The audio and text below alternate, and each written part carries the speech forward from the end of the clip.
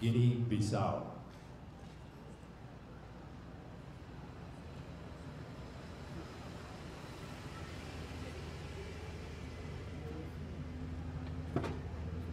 His Excellency José Mario Vaz, President of the Republic of Guinea-Bissau, and Her Excellency Rosa Teixeira Goudiaby Vaz, First Lady of the Republic of Guinea-Bissau.